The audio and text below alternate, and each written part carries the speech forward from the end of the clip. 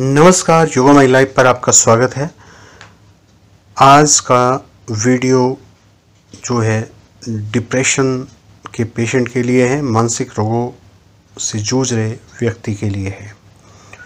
मानसिक रोगियों के लिए सबसे उपयोगी ध्यान विधि कौन सी है, उस पर आज हम डिस्कस करेंगे।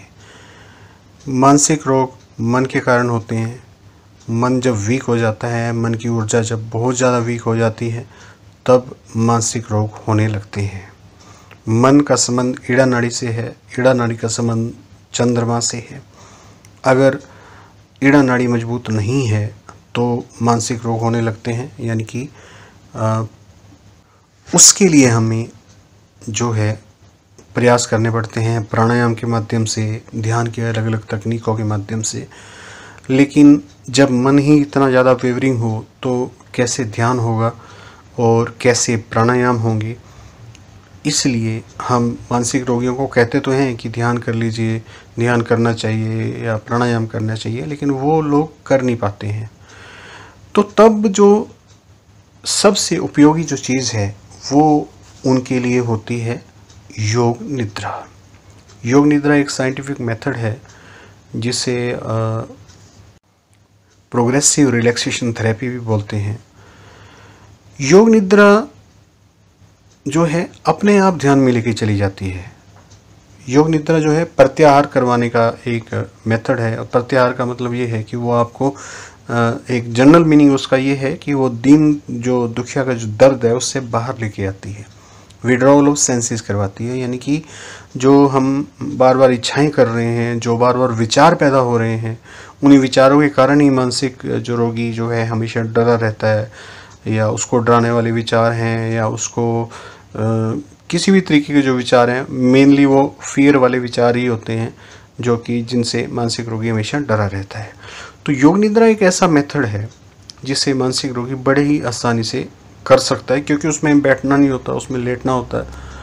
पेट के बल लेट कर करनी होती है योग निद्रा और कुछ नहीं करना होता म्यूज़िकल जो है इंस्ट्रूमेंट साथ में रखे योग निद्रा को चला दो गाइडेड मेडिटेशन होती है और आमतौर पे म्यूज़िक के साथ होती है तो वो व्यक्ति सुनता चला जाता है और सुनते ही अगर वो उसको केवल सुनना है और कुछ नहीं करना कोई ध्यान की पत, स्पेशल पोस्चर में नहीं बैठता जस्ट उसको सुनना है। वो सुनना शुरू कर देगा तो अपने आप ही उसका ध्यान लग जाएगा। अक्सर रोगी सुनते सुनते जो है वो निंद्रा में चले जाते हैं। शुरुआती दौर में तो नींद ही आ जाती है। हालाँकि मानसिक रोगों, रोगियों को जल्दी से नींद नहीं आती, लेकिन इस पद्धति से पाँच से लेकर दस मिनट के अंदर अंदर नींद आ जाती है। कोई भी मानसिक रोगी हो, वो जस्ट योग निद्रा को चला दे, उसके पास चला के रख दे। जब वो लेटा हुआ हो, चला के रख दे।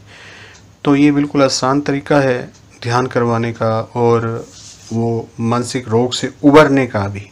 कॉन्फिडेंस भी डेवलप होता है, क्योंकि माइंड शांत होता है, शांत होने के बाद जो है माइंड स्ट्रोंग होता है तो कॉन्फिडेंस पैदा होता है, इससे आत्मविश्वास पैदा होने लगता है। और आजकल जो साइकोलॉजिस्ट जो हैं साइकेटिस्ट जो हैं, वो भी योग निद्रा का प्रयोग कर रहे हैं अपने रोगियों के लिए। तो ये एक रामबान औषधि है एक तरीके से जो वास्तव में केमिकल नहीं है, एक थेरेपी है। ये मानसिक रोगियों के लिए रामबान सिद्ध हुई है। बस करना ये है कि वो इसको केवल सुन लें, या उनके पास आप चला के छोड़ दें और अपने आप कर लें तो वो उससे बढ़िया कोई तरीका नहीं है।